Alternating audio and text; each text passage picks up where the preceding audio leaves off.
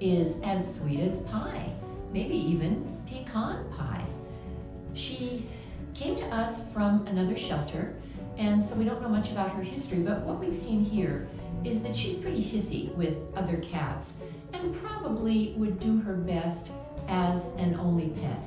She likes the quiet lifestyle, likes to be a little noisy and chatty once in a while, but just is looking for a quiet home to live out her retirement.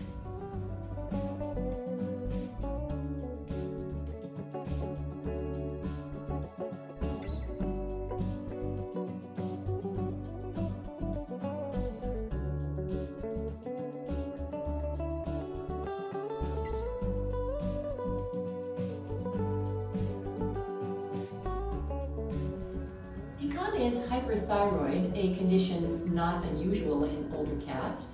For the moment, it is being managed with a medication twice a day. It's not a particularly expensive medication, and hopefully that will continue.